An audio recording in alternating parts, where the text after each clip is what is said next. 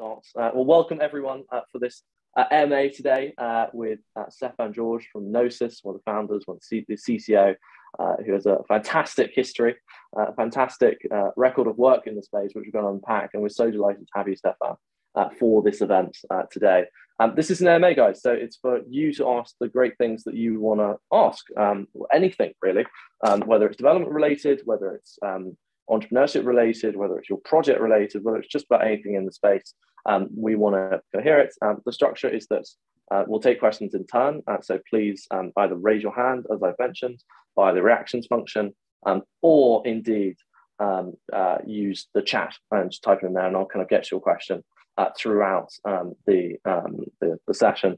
Uh, I'm going to start the conversation, guys, with a few uh, questions of my own, that just kind of kickstart things and, and, and go from there. Uh, for those who don't know, guys, uh, Encode, uh, hopefully a lot of you do know Encode because I see familiar faces, but Encode is a Web3 education community. We're here to provide fantastic programs to help you be trained to learn and get involved deeply in the crypto space and fulfill your, your personal and professional goals, uh, be it um, just contributing to the Web3 space, uh, building projects and startups, uh, or getting a job in the space as well. If any of those things uh, mean something to you uh, and you're not involved in Encode, uh, do uh, go to our website, www.encode.club. Plenty of programs and opportunities. And we have a number of members of the Encode team with us here today. Vanessa, uh, Jake, I see Devon as well, uh, all of you here who, who, are happy to answer your questions. well, I think let's get things started. And I'm going to get started with Stefan. It's great to have you. How are you doing today? Doing great. Thanks for having me, Anthony. Perfect. And thanks everyone for joining. Uh, awesome. Well, I'm going to start a nice, easy one uh, to get things going, uh, which is there's a very standard Encode question, which is that will take you really all the way back, uh, which is when you were at university, uh, what did you actually want to do with your life? What did and how has that panned out relative to what you actually wanted to do? yeah, actually, you can go even further back to uh, when I graduated from high school. You know, like you have these yeah sort of like brochures where everyone writes down like what they want to do or like just comment yeah. on on high school and so on. And i think there i already wrote like in the future i would like to um yeah become an entrepreneur uh, speci- specifically working in the software engineering field. And um yeah i started developing quite early. I think i was maybe 16 or 15 or even earlier I started developing software, and so always like to do something creative. And uh, I found that developing software allows me to be very creative. Like only your imagination and your own skills, kind of the limitation. And uh, yeah, so I kind of still do exactly this, like run a software company. and um, yeah, so it's, it's of course like I did never imagine uh, to to work specifically in blockchain because uh, at that time when I graduated, Bitcoin didn't even exist yet. but uh, uh, yeah, no, it has been very exciting, and so I can fortunately say I do exactly what I what I wanted to do, um, and yeah, still happy to push it forward. Fantastic, and, and Gnosis has obviously been on a quite incredible journey and a kind of highly successful journey, but it's a journey. It's taken on multiple iterations. I, I want to go right to the start, which is um, back in the ConsenSys days. Um, so, how did Gnosis get going? Uh, what was it like those early days? Uh, and uh, yeah, what, what do you remember most fondly? Oh yeah, so it goes even back further than Gnosis. Actually, like we, me and my uh, co-founder, we studied at the same university, and uh, we before we did anything blockchain related, we actually started already building sort of some ventures. Uh, actually started with a poker bot at the time when poker was very, very popular uh, and, and trained it such that it could play on like uh, small limits. Um, was not super successful, to be honest. In the end, we had to stop working on it, but this is kind of the first thing we did together. Then we did some other ideas together, but none of them really ever took off. And um, yeah, I think then in 2013, um, Martin uh, like found out about the Bitcoin white paper, and um, he saw big potential in it. And to be honest, after I read it, I I thought it sounds a bit like a Ponzi scheme. um, but obviously, we were still very early, and so it was interesting to to explore how we could uh, potentially leverage uh, Bitcoin. And so we started building software um, which would allow to yeah to use Bitcoin. Um, we actually kind of created a prediction market using uh, Bitcoin as the currency, and um, of course with Bitcoin. Um, decentralization was very limited. Uh, the, the Bitcoin itself, transferring Bitcoin, this was decentralized, but the application was very centralized. And uh, so when we found about out about Ethereum in 2014, we quickly realized that a lot of the logic, the application logic that previously was centralized, um, we could now try to decentralize. And so, yeah, we came up with the concept of how this could eventually be done. And um, yeah, at that time, we also met Joe, uh, who just recently uh, founded ConsenSys. Uh, this time, it was a very small company. It was uh, maybe like two employees or so. And then uh, me and Martin joined as employee number three and four. So it was really at the very, very early wow. stage. And uh, he gave us, I would say, the opportunity to to work on what we wanted to. Uh, of course, he also gave us a salary, so we we were just.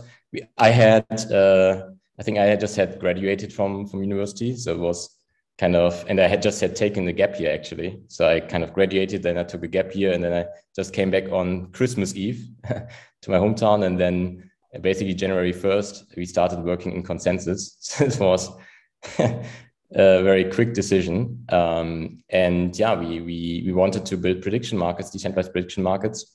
And ConsenSys gave us uh, the room to experiment uh, with this idea as much as we wanted to. And um, and yeah, this time uh, it was very early, obviously, like it was before Ethereum launched. So um, you can think of like the entire like development environment. There was no truffle, there was no Hardhat, there was nothing. You had to build everything yourself. Uh, and uh, Solidity was changing every week. So every every week you had to change your smart contracts to even be able to compile them uh, according to the latest version. And um, yeah, and actually I was working out of Berlin, uh, out of the Ethereum dev office. So Ethereum had actually, I think at that time, only one real office, uh, which was based in Berlin. And so I had the um, pleasure to work directly together with the with the with the uh, like creator of Solidity, uh, Christian Reitwiessner, who, who was sitting next to me. And so I think it was mutually beneficial that on the one hand you have obviously the person who develops the language, and then me giving direct feedback in terms of how we're using this language. And um, yeah, it was, of course, a great opportunity for us and uh, mutually beneficial. And uh, yeah, but it was it was crazy. Everything was changing. Uh, honestly, I was so close to it that I sometimes was also questioning uh, the potential of Ethereum. You know, like sometimes you have the effect that you are very close to something, and so you see all the flaws, and so it makes you really question if this was going to take off. Um, but of course, independent of all the struggles that we faced, uh, we continued and um, also bootstrapped some early ideas. Kind of like we created something called Test RPC, which was a simulation environment uh, that essentially later turned into Ganache as part of Truffle. And I think those kind of basic infrastructure was just not there at the very beginning. And so you had to do everything yourself, which uh, on the one hand is exciting because uh, you work on so many different problems. On the other hand, of course, it slows you down quite a bit. And I think that's still true today that um, we are still early and a lot of infrastructure still has to be built. And so I feel people that come a bit later to, to the same game, uh, they have the huge benefit of not having to figure out everything, uh, but they can benefit hugely from the infrastructure that has been built over the last couple of years. And uh, but I think that's also great because uh, yeah, we like we have there's the possibility to to create competition with every new wave of developers because they can easily uh, piggyback on all the work that has been done in the past. And um, yeah was very exciting still very exciting even after so many years. Um, but yeah i think the the first i would say especially before the launch of ethereum uh, like just developing on ethereum was a big pain. I guess maybe similar to how it is now if you want to work for example on solana uh, you have to figure out a lot of things. Uh, so yeah, but I guess it's the early days of every every kind of developer environment is just uh, yeah, its own challenge. Yeah, I mean, there's so many places I want to go after that. Uh, first of all, that's fascinating, and I think it also was a really good summary of how how linked to the history of Ethereum Gnosis has been, and you guys as founders have been. That it's almost, and obviously ConsenSys's role in that is also so important. But it really goes back to the the really earliest rumblings of what we now consider a massive ecosystem with so many people. And Gnosis were always right there at the start, and you guys were. Um, to unpack a bit, bit about ConsenSys, you said you were you were such early employees, and obviously like that's kind of weird to be like early employees, but you guys go off into your own sandbox and build this like thing that will become successful rather than like, I know ConsenSys probably always not struggled, but it, the, the, exact vision of ConsenSys wasn't always clear from word go. But what was that like? Like that is a big bet to be like, let's take two fantastic devs, you guys go and build something else, not build this core thing. How did that come about? Right, right. Yeah, it was indeed quite crazy how ConsenSys developed honestly, yeah. when I first heard about Joe and Joe offered us this uh, opportunity, I wasn't sure if Joe would be able to pay us because just I didn't he know would, him. Yeah. I didn't know that he is this like yeah he, he is this big investor, and so yeah, um, we had uh, like Martin was at the time in New York, and so. Yeah. He invited Joe over uh, for dinner, and then we all met for the first time in person. And then we showed him a demo of what we've been building on. And this definitely helped a lot also to just establish the, the trust between us um, yeah. to have this uh, like real life experience as well. Previously, it was just a Zoom call. and at that time, it seemed kind of a bit, uh, yeah, I don't know. Of course, it's not the same as meeting someone in person. And um, yeah, I think Joe always had this uh, philosophy of giving people as much freedom as they want to uh, and they will figure it out eventually. And I think this went very well at the very beginning, especially. So he he basically gave everyone who wanted to work in the space the opportunity to work in the space, um, providing the funding, uh, everything that you yeah, would need to not have, let's say, opportunity costs uh, of working at Google or somewhere else. And uh, I think this was super, super crucial. So a lot of the early projects like MetaMask and so on, they, all of them benefited hugely from having this uh, person that is able to invest a lot into building the ecosystem, giving everyone the freedom to do what they want to do. And um, this worked very well at the very beginning because lots of people were interested. And I think especially the people that were interested very early on were kind of also very qualified because they're like, I would say, being interested in this topic was a natural filter for talent. and uh, and that's why I think it worked super well. Of course, as as the company grows, this becomes much more a challenge. And I think um, giving everyone the freedom to do whatever they want doesn't scale necessarily. and I think that's kind of the issue that ConsenSys was facing. I mean, for a long time it went super well. and uh, even though I was always kind of a little bit critical about this idea of um, let's have having this mesh, having this uh, this different style of working, it worked super well for a very long time until I guess it got just too big and too messy, and people started exploiting having this freedom.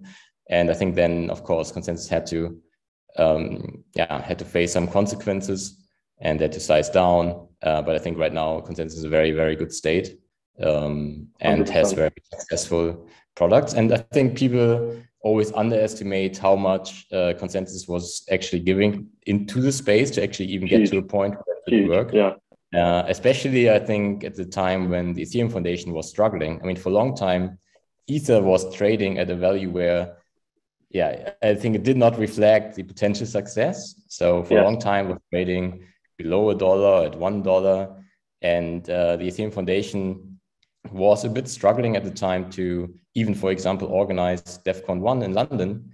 Yeah. And um, yeah, Joe stepped in and made sure that this is possible. Um, yeah, regarding Gnosis, uh, I think just because we were always working remotely, uh, I mean, I was based in Berlin, Martin was based in New York, but he was still mostly working remotely. Uh, we always had, I would say, a different yeah, relationship to ConsenSys. So it was more like um, more like I would say like an incubation. Uh, like they gave us everything we needed, but we were still had a high degree of independence. And uh, yeah, like the first ICO that ever took place on Ethereum obviously was the Augur ICO, uh, which was insanely successful. Like by today's standards, it's kind of insane. They raised, I think, over 5% of the Ether supply at the time. And uh, I think an equal amount in Bitcoin. so it was really completely insane. And of course, us building a competitor to Augur, we were also at that point and considering, yeah, we should probably also do an ICO. And um, yeah, I think then we we started planning for this event. It took quite some time. I think, given that we were part of ConsenSys, we wanted to make sure, of course, that also from a legal standpoint, it's um, yeah, it has a very very solid foundation. And yeah, this took a bit of time, but then after two years, we were able to successfully do the ICO and uh, yeah, become fully independent from ConsenSys. And um, yeah, I guess we also had fortunate timing. Ether exploded right after the token sale. Uh, so we raised, I think, $12.5 million in our ICO at the time when Ether was $50. And um, we were, of course, very long Ether uh, anyways. Like we were believing in the future that we were building. And we saw also either Gnosis becomes a success, then it heavily depends on the success of Ethereum uh, or both fail, but then it's also fine. and so us keeping huge ether exposure was obvious. So we did not sell anything. And that brought us into a very interesting position where suddenly we had tremendous amount of money. Um, we also had fortunate timing in kind of selling. Obviously, there was this huge bubble in 2018. And when it got really too crazy, um, we also decided to simply sell ether. and we sold enough so we could invest a lot also through the long lasting bear market, which was, of course, a very fortunate position to be in. And uh, yeah, and now we are here and uh, have pivoted quite a bit. But I guess I, I, I wait for new questions before I. I was going to say so. Two, I'm going to ask one more. It's so many good things. Yeah. Uh, second, uh, guys, please put your hands up if you want to ask face to face questions. For written questions, please go ahead, put them into the chat and we'll get to them. Uh, but hands up if you want to ask face to face. I have one question before I hand over to other people, which is you've obviously maybe this is you as a person, but you seem very relaxed in the space now. Like in when everyone else is frantic, your approach seems very relaxed and very sure of your place, which probably comes from seeing the whole span of what Ethereum has gone through, and obviously the bear and more than one bear. Um, what, what is your state of mind towards the whole space now? Is it this kind of like, you know, it's going to be big, you know, things are going to happen, you've seen it all before, or do you still have that anxiety that kind of, do you, do you detach yourself now from what's going on with the week by week, the day by day, because it's all, it's all small history? How, how, how have you cultivated that mindset? Or is this just you as a person, just right. cool, calm, and collected? yeah, I guess being relaxed is just my personality. it's hard Good to like, but uh, of course, there's so much happening, and there's this kind of constant FOMO in the space. Uh, and um, but of course, like given how long we are in the space and how long we are operating, I yeah, we always think long term. We always had the benefit of having the funds to think long term. So that's why even the bear market like it was not a concern for us at all fortunately as we kind of cashed out before the bear market we never had to worry we could grow and just uh, do whatever we want with the bear market i would say the biggest downside of the bear market for me personally was it is much much harder to develop a product in the bear market simply because there's yeah there's a lot less attention. And if you want to build good products you need a lot of users. And this was just not really the case through the bear market. And i think that's now a lot more interesting. And also I would say the biggest challenge in the bear market, finance was not an issue at all. But um, if you have a big team, keep the team motivated uh, that this is actually going to work, uh, where it's not really 100% in your own, um, let's say, responsibility uh, or even possibility to. Obviously, we cannot end the bear market. Gnosis cannot end the bear market, unfortunately. Uh, but of course, everyone kind of depends on this event to happen. And so I was always uh, saying to everyone, yeah, we work hard now, so we are ready for the time when the bear market ends, and we have a product ready that can capture the value that's being created. And um, yeah, I mean, fortunately, we now made it, and we were, I think, ready uh, at the time when the bear market ended. Uh, but I would say this was, from psychological perspective and from a leadership perspective, uh, the biggest struggle to face. And I, I guess it is the same for all the big companies that were going through the bear market. Awesome. Uh, right, again, so much to unpack, but let's hand over to some questions. So, first of all, question: What is? I mean, apart from the obvious financial advice, what is one thing you'd wish you'd knew you'd known five years ago? Yeah, good question. Um, I think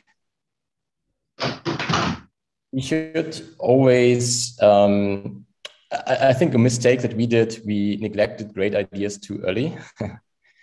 so we have tons of ideas, um, but we didn't necessarily evaluate some of them enough, and we discarded some of them uh, too early. Others we kept on for too long. So to give an example, um, one of our engineers he came up with the idea of the constant product formula, um, which is famously the basis of Uniswap, uh, and obviously is a huge success. And yeah, we had the, the first team to actually uh, invent this, and um, we we didn't see the potential in it because we saw so many potential flaws in the mechanism. So, for example, Uniswap is prone to front running, right? Like MEV, uh, which at the time when we invented it, we saw the potential issue of MEV. The term obviously didn't exist. And because we saw so many issues and we saw a Bancor doing something similar and was not really our core business, we were thinking like, ah, let's just discard this. And um, we just put it on GitHub. It's still there. Like you can still go to the GitHub repository of 2017, where you basically find the code that in the end became Uniswap. Uh, obviously, there's a big step from an idea and the prototype to real product. And I would not claim that you would have the same success as Uniswap, but I think that just showed like we discarded some ideas too early. Uh, on the other hand, some ideas we were pushing on for too long. And I think this is the case for actually what we started with is prediction markets. Um, we had many, many different iterations. We, we tried for a very long time to apply for a license. It took us, I think, uh, almost five years before we decided to just stop doing this. And this was too late. Uh, I think we should have, if you set yourself a goal, and you should also set yourself like a timeline to accomplish it and really start questioning yourself if you don't make it in time. Because at some point, it's wasted resources, team gets burned out. And uh, I think it's something that we did not consider enough. Uh, I think it was, of course, we started and we collected money for prediction market. And so we felt very committed and obliged to deliver this. Um, but we delivered multiple versions. Not, none of them really worked, and also all our competitors failed in, I would say, getting traction. So I think we should have stopped uh, earlier. And uh, yeah, some team members unfortunately left also because they, I think, they got burned out, and this could have been prevented if we would have stopped earlier. Very good. Uh, right, let's take some face-to-face questions. Oren, uh, over to you, sir. Hello, Stefan. My name is Oren. Nice to meet you. Huge fan of your work. Um, I kind of had a question about kind of the governance. Uh, I operate my business in America, and as you know, it comes with its own like legal and financial obligations. Wyoming recently recognized DAOs as legal entities based on the decentralized nature of how they govern themselves. Was there a reason that Gnosis created a DAO over a foundation? And could you kind of explain more about the DAO and how it helps Gnosis to operate?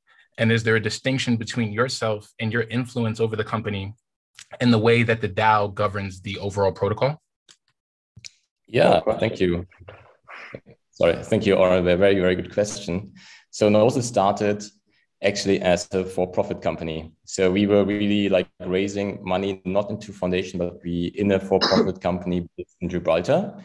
And the reason why we went to Gibraltar was because they created a legal framework, um, like a DLT framework, where we saw the potential to actually run also prediction markets in the end turned out we couldn't but we at that time we thought that's actually where we want to go. And um, yeah recently we changed. We, we, we are now in the process of changing uh, limited into a foundation. Uh, and the reason is that um, yeah we don't see ourselves as really the shareholder of those funds. Like we those are obviously owned by gno token holders and uh, it was more the nature of how everything started that it started as a for-profit company but we really don't see ourselves being the of this and that's why we're in the process of turning it into foundation and we also started transferring funds from the foundation into Gnosis DAO and Gnosis DAO is in fact uh, like um, yeah a fully decentralized DAO uh, doesn't have a legal wrapper actually. It's like MakerDAO doesn't have a legal wrapper. And um, yeah, the nature has very much changed, of course. And it's much, much more interesting for me personally.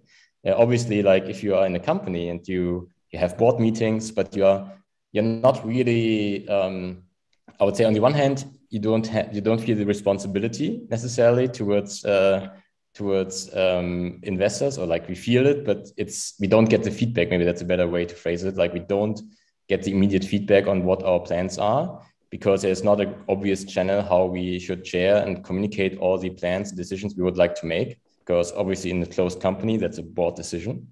Um, and so I think since we started um, making those decisions within the DAO, we receive a lot more interest.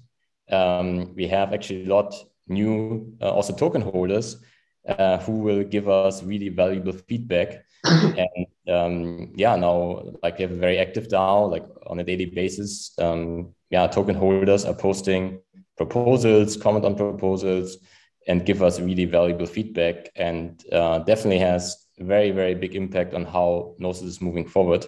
Uh, of course, right now, still many things are incubated within Gnosis uh, or like by teams that have been created by Gnosis. Uh, but I can already see that, um, yeah, this becomes a lot more decentralized. And uh, I am very, very happy that we decided to make the direction, to make the step into the direction of, uh, yeah, becoming a full DAO, uh, simply because um, community is obviously super important in crypto. And I think for a long time, Gnosis didn't really have a community. like we had some technical products, and um, I think Gnosis was always recognized for having good developers and so on, but we never had really a strong community. I think this is now changing because token holders feel they have the influence and they can really shape how Gnosis is going forward. And um, yeah, I think the first very big decision that GNO token holders had to make was just recently uh, the decision to merge uh, with another project, XDAI. And uh, that was, of course, yeah, a very exciting uh, proposal, which was effectively done as a DAO proposal. So everything that was related to this merger was 100% transparent uh, and was really executed from the Gnosis DAO safe. So the tokens, like the token merge and uh, offering the swap contract, all of this was actually like an on-chain DAO proposal, which I think is yeah, very exciting. Thank you so much. Great, great question. Uh, thank you very much. Right, let's go, Rogelio. I've said that so wrong. I, as I said, I was like, I've said this wrong.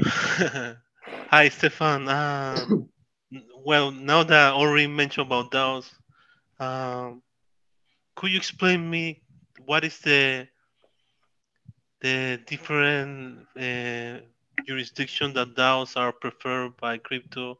I know that Panama is one of the preferred places, but I haven't found a, a Panamanian lawyer that can explain it to me why it's good to have a DAO in, in Panama. Yeah, thank you. Uh, unfortunately, I'm not a lawyer.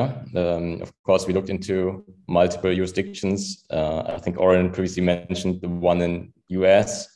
Um, at this point, I think it's a very tricky question, and I think probably it's a question that's easier to answer in hindsight in a few years, like which jurisdiction actually makes the most sense. Um, I'm always a bit concerned about using jurisdictions which are kind of obviously just a way China kind of to circumvent things. Like uh, Panama, to me, sounds a bit like this. Uh, same maybe for the Cayman Islands. And um, what my view on this is that uh, DAOs will become much, much bigger than they are today. Um, and uh, very soon, I think most uh, countries will face the issue on understanding of how they want to deal with DAOs and how they should recognize DAOs. And uh, so I think this will be a much, much bigger effort, um, which will happen in the next couple of years, simply because uh, I could definitely see that some DAOs will become eventually uh, as large as the largest corporations uh, on this planet. And so it's pretty obvious to me that yeah, these questions will come up, and it's pretty clear to me that if if it's registered in the Cayman Islands, that will not be uh, sufficient. Um, but again, I'm not a lawyer, so I don't feel really comfortable of giving here clear advice. Uh, again, like I think it's uh, something where in hindsight we will know better. I, I, think there's also a good case to make for for DAOs that don't have uh, any legal wrapper, like MakerDAO. Um, ultimately, I, for me, it's very difficult to understand where the value creation actually is, especially in our field. It's pretty clear it's not in Panama, it's not in Cayman Islands, somewhere else. Um, but uh, yeah, I, I guess this question will have to be answered in the next couple of years. And um, I'm also sure that uh, given given the global nature of DAOs, that um, yeah, I think we will find ways to we should approach regulators. We should talk to them about this, and we will find ways to deal with this situation and make sure that value created by DAOs is also, of course, uh, yeah, accounted to to places where the value creation actually happens. Awesome. Thank you. DAOs, DAOs, DAOs. Thanks. Uh, Vinicius, over to you. Oh, hi guys, thank you for having me. Stefan, uh, thank you for sharing your experience. You kind of make me remember the origins of the, my contact with blockchain. Actually, I uh, you you told some words that it triggered my mind. So I had my first contact with blockchain 12 years 12 years ago. I was one of the first adopters, early adopter, and the first thing that comes in my mind at that time it was, you know, uh, yeah, it comes up picture with some some game game like meaning, you know, like when I installed my first blockchain software at that time. So in my question uh, to you is, is, is about this context uh, with games and in DAOs. So uh, I, we have been developing a game, but we we kind of beside we are testing another market connected with tickets and uh, some kind of uh, connected people in events and kind of that. So I want to ask you, how do you, any thoughts about the, you know, uh, in DAO, DAO ecosystem, there is many things to, to solve, but how do you see how gamification process can interact with this human process to intake decision and, you know, like kind of, yes, kind of try to solve the problem uh, beside the people first you know like because people is, is we are really good to make problems you know like to, to, to mess things. And if you kind of play with behaviors and those kind of gamification you can kind of you know like i have some intuition about that. Uh, we are like to, to to just to be clear we are applying events here kind of uh, profiling you know and those stuffs. But yeah my question is what do you think about those kind of market DAOs and games to you know, to to kind of show some ways to help them take decisions. I hope that my question makes some sense. Thank you. Yeah, no, thank you. No, totally makes sense to me. Um, there's an obvious problem that uh, every DAO is currently facing, which is uh, voter apathy. So people are not really participating. Um, they don't see a value in participating. Most token holders hold tokens because they speculate on the value of the token but they don't really expect they have to do anything for it. Um, so uh, yeah, I think there's definitely like a like a an issue there where I think gamification could be could be one way to solve it, or like just get more engagement in DAOs in general. Um, we've been also actually playing around with this idea um, of using prediction markets for governance. So obviously there's this uh, one concept called futarchy in prediction markets, which effectively is applying prediction markets to make decisions. Uh, to give an example, um, we could have a prediction market on if we should fire a CEO. and the way how the prediction market would work is the prediction market would predict, uh, let's say, for example, the stock value um, of the company at the end of the year, uh, depending on if the CEO was fired or not. and then you can let this market run for a while. And uh, let's say for two months. And if after two months on average like the market predicted the stock value will actually go up if the ceo is not there then yes he will be fired. Um, this is just like one way uh, how i think we we could uh, kind of add this game of predicting uh, into governance and also add a financial benefit to those who are like participating. Because obviously when you predict the correct outcome, you earn a profit. Um, and uh, so, yeah, I think there's definitely many ways we could, we should, we have to think about uh, how we can get more people engaged in governance. And yeah, games is definitely like if we see prediction market as sort of a game, which I think many people do, uh, then that would be one way. Uh, but there are probably also others. Uh, I guess also depends, of course, a bit on what the DAO is about.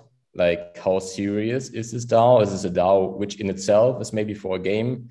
Then I guess uh, it will be more easy to embed this. If it's about let's say big financial decisions, then I guess the game itself also will also be more serious.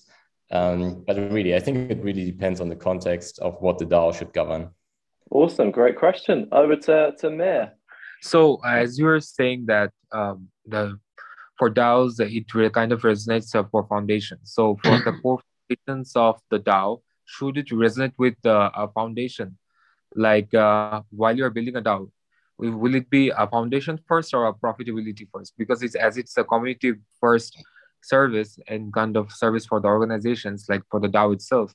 So should it uh, at first work as a foundation, then work towards for the next step as a for for profit of organization? Yeah, uh, in my view, is like if you are creating a new DAO and you expect uh, or you need you see there's a functionality where um, like you need a foundation.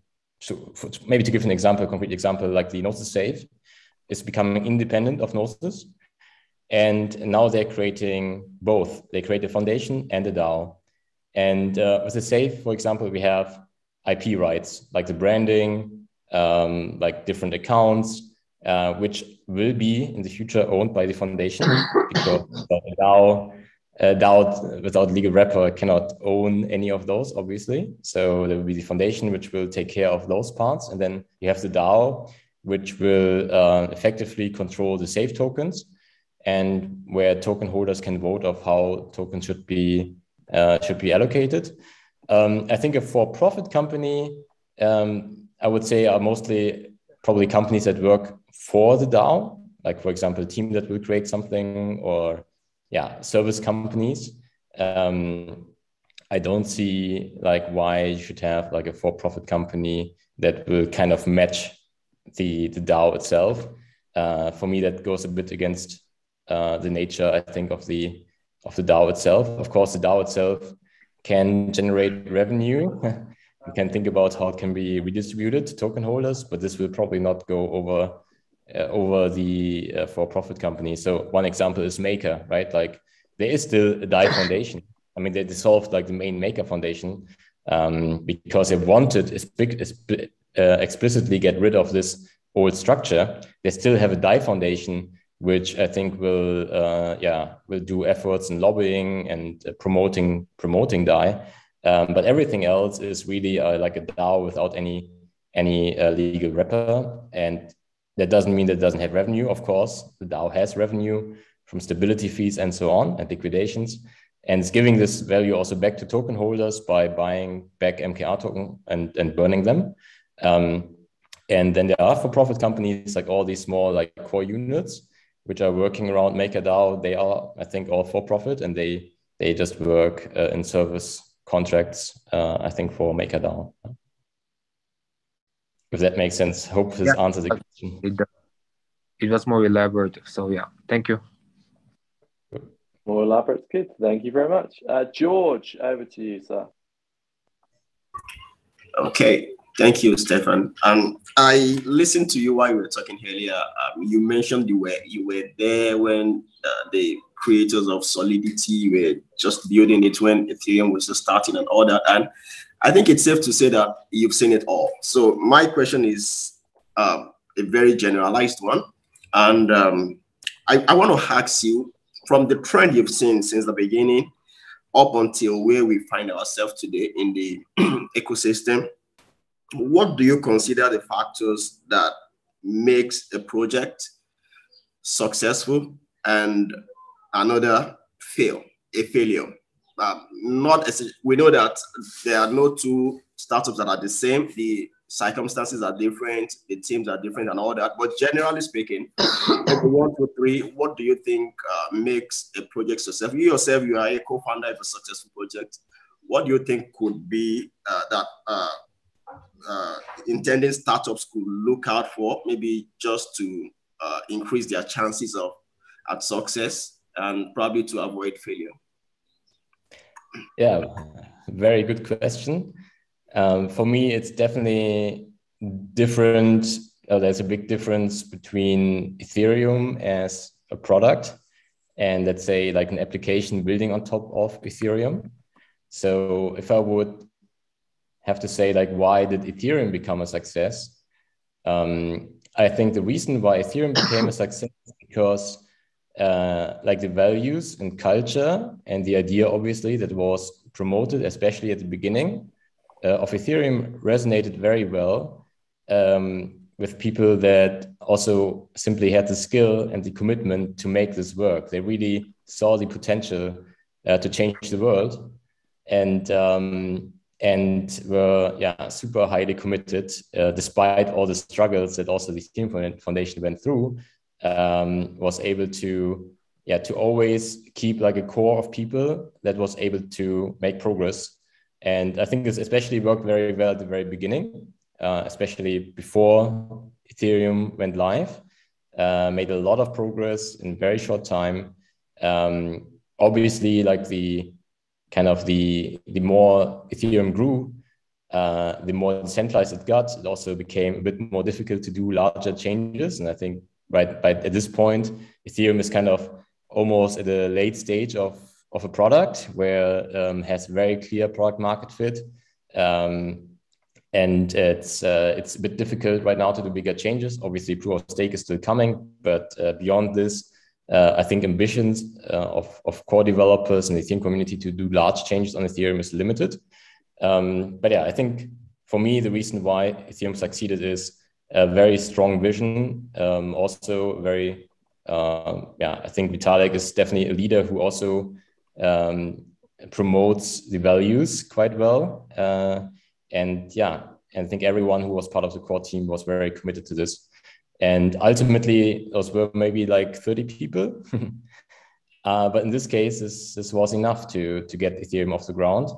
And um, yeah, and I think then it was all about uh, growing the ecosystem and getting more and more people committed. Something that was also specific about Ethereum that really uh, got me interested in, or like let me see the potential was that there were lots of different meetups, uh, meetup groups created very early on globally, uh, something that you did not see before. So uh, it was kind of like everyone was kind of waiting for this idea apparently, and then people jumped on the train and understood, okay, we want to learn more. We see the potential, and um, yeah, I think this kind of community building early on, having like a super strong core team that's super aligned in the vision, um, this helped a lot to get Ethereum off the ground.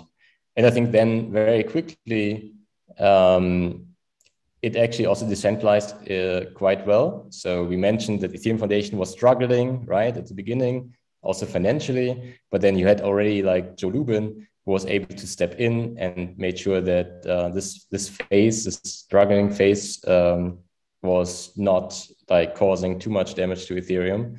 And uh, yeah, and I think from there on, just more and more people saw the potential, bought into the platform, uh, and also made themselves um, committed to it. And uh, this is also obviously true for Gnosis. Like we, I think the fact that all the ICOs mostly raised Ether made them obviously also very much invested into the success of the platform itself. So I think it was very interesting incentive alignment. And for us, Gnosis, we've been doing a lot of like work which usually would, yeah, which is effectively providing public goods so we also took over, for example, maintaining one of the uh, main clients of Ethereum for a while. And we did not do this uh, to make money. Uh, we did do this because uh, we are also large uh, Ether holders and we feel committed to the success of Ethereum. And uh, yeah, I think that that was the reason why Ethereum succeeded. And it's very difficult to replicate culture. That's always underestimated, but I mean, I don't want to speak badly about Binance Smart Chain, but uh, Binance Smart Chain is definitely struggling right now uh, simply because it has not promoted the same culture as Ethereum. It's like copycats of, of applications that run on Ethereum. And for some time, you can, of course, like make people really excited about it, about it with just uh, throwing money at it. Um, but that's not really sustainable. And ultimately, I think culture is really what gets people attracted, like sharing the same values. And um, yeah, that's not easy. In terms of very shortly speaking about applications on top. Um, of course, also have to build a great culture in, in your team and your community. But more important is, of course, finding product market fit and be able to get to this uh, quickly or like focus on it. I think in, at Gnosis, we kind of struggled with this a bit um, because we, even though we raised 12.5 million, we suddenly had a lot more resources available and uh, we sort of almost became like a, like, yeah, a fund manager effectively. And um, yeah, we started developing all kind of things, which kind of made us lose a little bit focus. Um, but recently, uh, yeah, obviously we we kind of focus now on on Gnosis Safe and CowSwap, and more recently on on Gnosis Chain. You can still say like we do many things, but that's also also why we decided to uh, make CowSwap and Safe independent, um, because then they can focus again better on what they what they want to accomplish and our focus will shift now towards Gnosis chain. So yeah, product finding focus. Focus is number one thing every founder has to has to do, like making sure you really focus on the one thing where you can prove product market fit, and then uh, everything else uh, will find itself. Thanks, George. Let's take some questions from the chat. What do we like? Uh, yeah, I mean, we kind of touched on this, how you build multiple successful products. I mean, just kind of on a built team building perspective and a scaling perspective, how did you do that? I mean, building one product's hard, two, three, four, kind of like very hard. How did you manage that from a hiring? And then specifically just the managerial perspective, was it kind of heads of each project and trust them or and what were the failures? Were there any ones we haven't seen that were like the process failed, they never saw the light of day, but they had a lot of your headspace in them? Right. Yeah. Team building is super tough, especially right now. It's super competitive. Um, I think one of the reasons why we succeeded, especially also uh, with engineering, is because we were able to source from a big uh, group of people that we had personal connections with. Um, so I'm a computer scientist. Uh, my co-founder is a computer scientist, and so we were able to, um, yeah, to hire people uh, from the university where we studied and uh, hire the best. and this helped a lot um, to also then, of course, hire the next round of developers. So, um, like people say, like A people hire A people and B people hire maybe C people. and this is true. Like, uh, I think in order to create a very good team, um, it is worthwhile uh, spending the time on finding first a few of those, uh, yeah, super qualified senior people because they bring the experience that you need to build up a larger team. Uh, I would say in, in hindsight, maybe um, we were even growing too fast. So at the beginning, we were growing like super fast. Um, I think from like five people to 30 in a very short period of time, then to 60. And this was maybe too fast. It takes a lot of time to onboard to, to Web3 and uh, uh, maybe we should have like uh, been slower. So there was also quite some fluctuation for some time. Um, but I would say since maybe one year or so has been pretty constant, and uh, people that work at Gnosis work there for a very long time. Uh, I think definitely above the average in the industry. So I think many have been working with us for like four years or more, uh, which is a very long time, of course, in crypto. and I think the reason why they do this is because we uh, yeah, we have a very open culture. Um, like we we we don't we we don't we for a long time we did not impose hierarchies, but rather we saw like how how qualified people are, and then naturally they kind of stepped up into leadership positions. Um, and yeah, and I think we we also tried to align incentives. Of course, we had a Gnosis token program, which I guess also helped a little bit, even though I think there was also a lot of improvement possible. Um, but yeah, I think I think this was kind of the mix that uh, made us succeed. Of course, we also again like especially at the beginning had pretty high fluctuation, and uh, especially of course also in a bear market, it's sometimes difficult for for everyone to see the light at the end of the tunnel.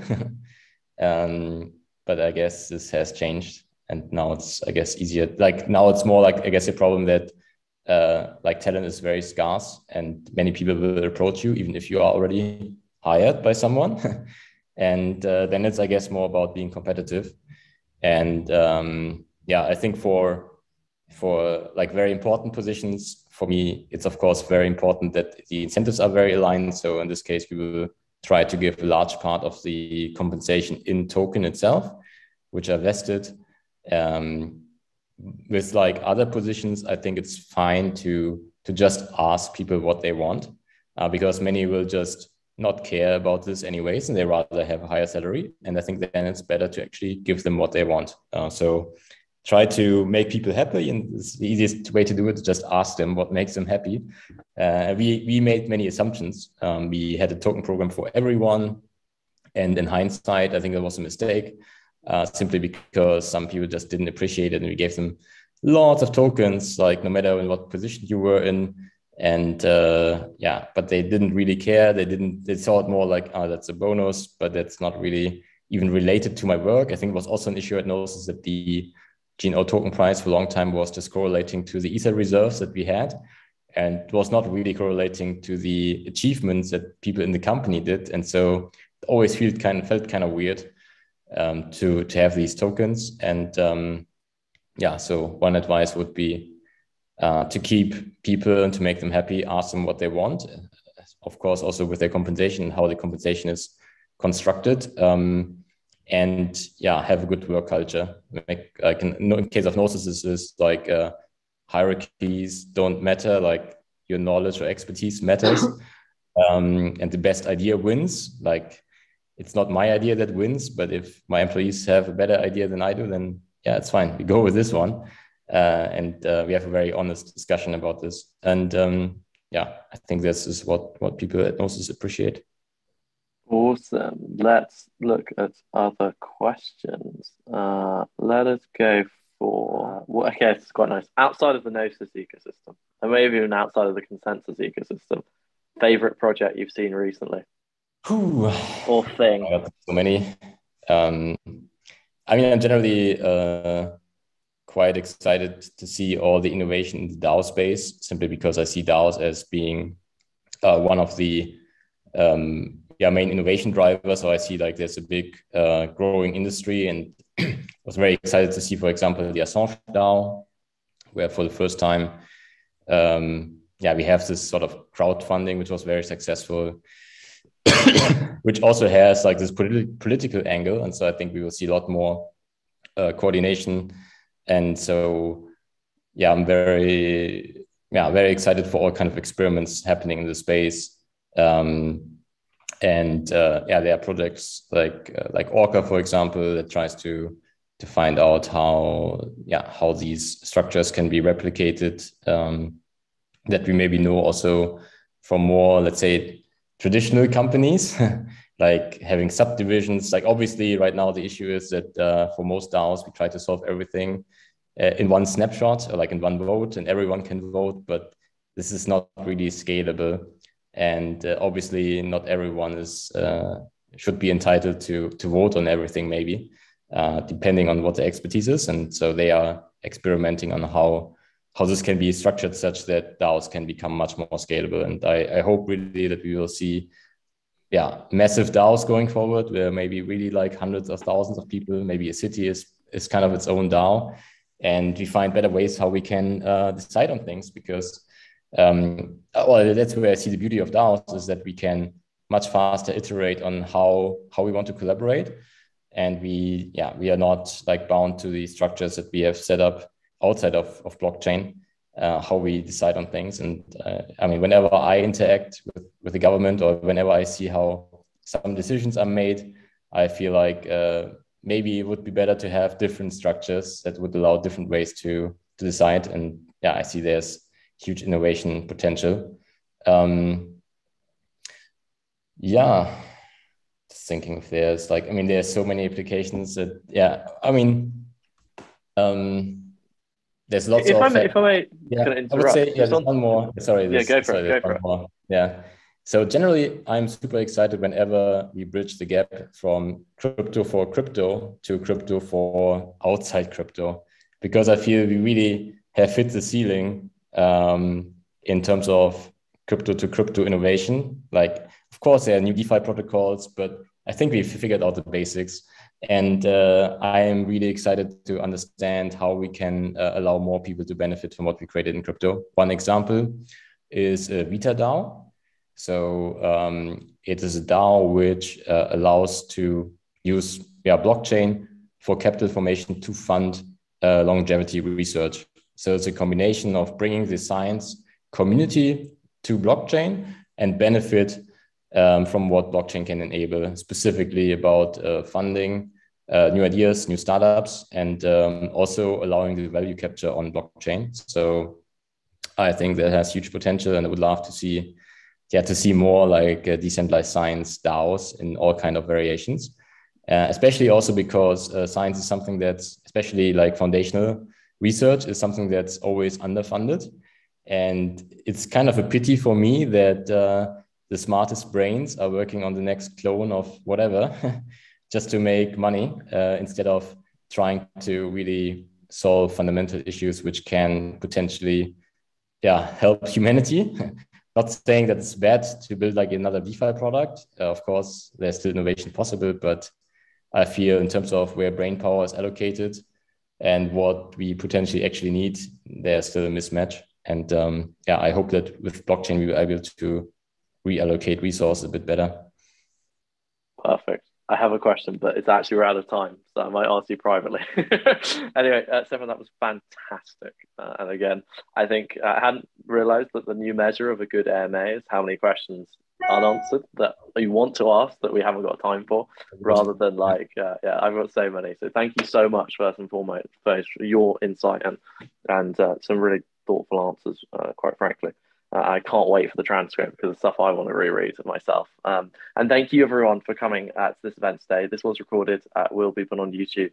Uh, and as I say, there's a lovely transcript that will come where we try and capture your voice properly. Uh, so uh, to do justice, to some great answers. But, but thank you in the meantime, Stefan. It's been an absolute pleasure. Thank you very much. It was also my pleasure. And yeah, thank you all for joining and asking questions. Um, happy to answer more if you have outside of this interview. yeah. Perfect. Uh, it's been a pleasure, guys. Thank you very much. Have a wonderful evening, Stefan. Once again, enjoy the the what I'm sure is a slightly sunny evening in uh, in Lisbon. But uh, see you all see you all soon, and and see you in the Encode event, guys. Thank you very much. Thank you, Bye. everyone. Bye-bye. Bye.